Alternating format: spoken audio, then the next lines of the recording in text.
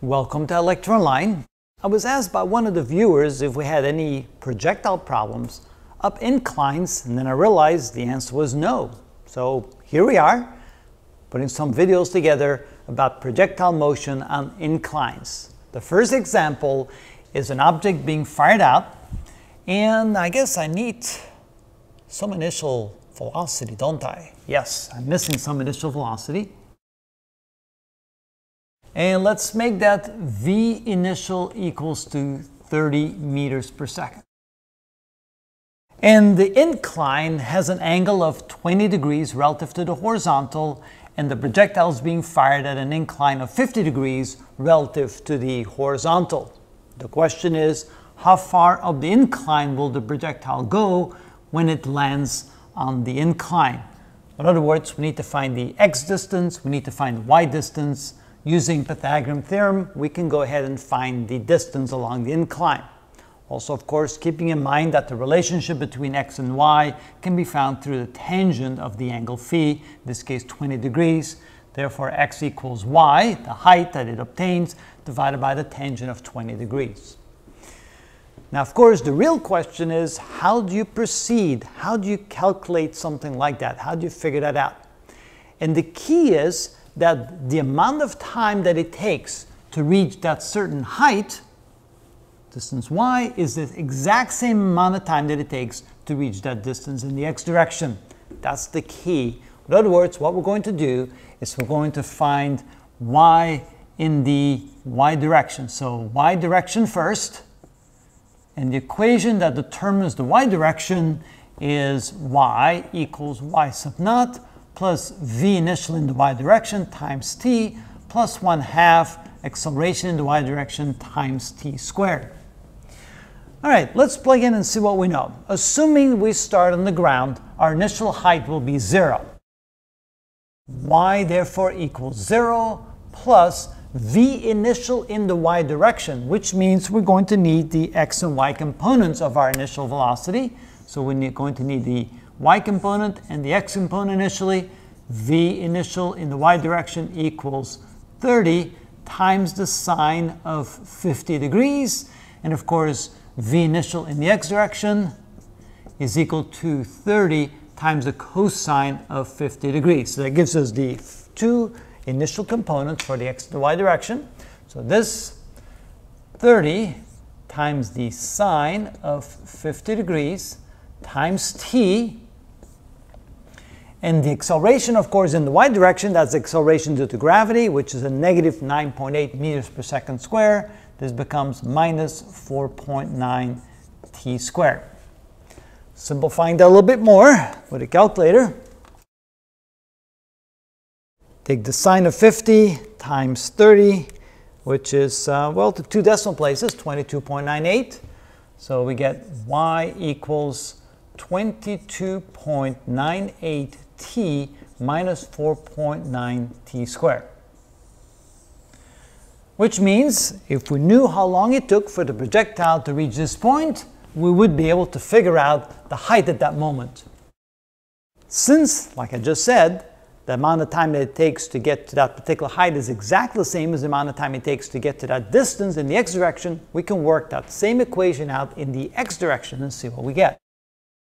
In the x direction, we start with the same equation that we had there, x equals x sub naught plus v sub naught in the x direction times t plus 1 half acceleration in the x direction times t squared. Now, of course, in projectile motion, if there's no forces in the x direction, then of course the acceleration in the x direction will be zero. And in this case, that will be the case. And assuming that x sub naught is zero, this then simplifies to x equals v sub naught in the x direction times time. Plugging in what we know, we could say that x is equal to v initial in the x direction, which would be 30 times the cosine of 50 degrees multiplied times t. Well, which means that t, there's a relationship here between x and t. I can solve this equation for t, but that would have an x in it. I don't want an x in there.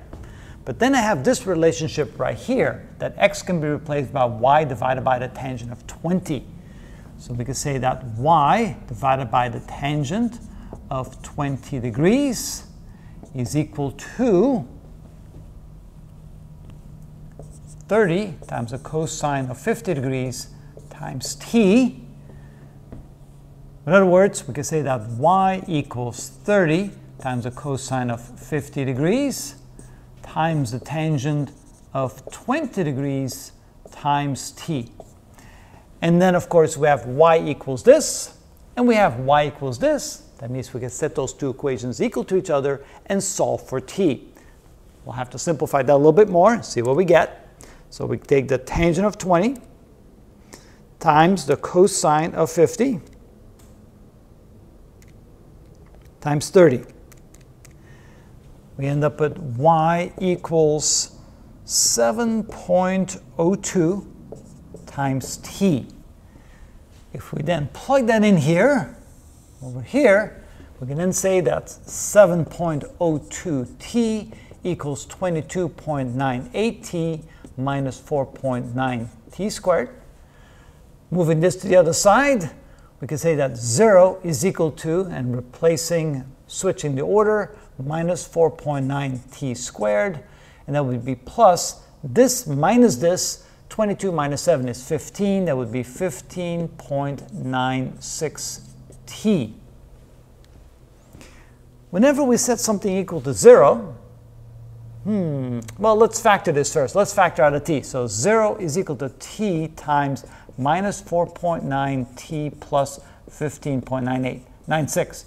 Okay, that's better. So now what we can say is we have a product of two entities. We have this term right here, t, and we have what's inside the parentheses over here. Multiply these two together, you get 0. That can only be true if t equals 0 or what's in the parentheses equals 0. 0 equals minus 4.9t plus 15.96, which allows us to solve for t. That means t is equal to 15.96 divided by 4.9. 15.96 divided by 4.9 equals, and that would be 3.257 seconds. I'm keeping an extra decimal place just to minimize rounding errors. Now I have the time, which allows us to solve for, well, in this case, we could solve for uh, y using this simple equation right here. And then, of course, since we have a relationship between y and x, we can solve for x as well. So here we can say that y equals 7.02 times t, which is 3.257. So multiply this times 7.02 and we get a value for y equals to 22.87 and well let's see here that's uh, since the units we used was meters per second we end up with this being in meters now that we know y we can calculate x x equals y divided by the tangent of 20 degrees, which in this case is 22.87 meters divided by the tangent of 20 degrees. Therefore, x equals 62.82 meters. And finally, since we need to find the distance on the incline that the projectile goes, d is equal to the square root of x squared plus y squared, which is equal to the square root of 66.82 squared plus 22.87 squared. And let's see what we get. We square that plus 22.87 squared equals, take the square root, and that would be 66.85 meters. Now we got everything in terms of two significant figures, and so we can go ahead and round that off to two significant figures. So we can say that D is equal to 67 meters, rounded off to two significant places. All right, and that's how we work with projectile motion on inclines. Again, the key is to realizing that the amount of time that it takes to reach a certain distance on the incline in the horizontal direction is the same as the time it takes to reach that particular height. we use, we use those two equations in the y and the x direction, and then we realize it's the same time, so we can substitute one equation into the other, solve for time, and then calculate x and y, and after that calculate d. And that's how it's done.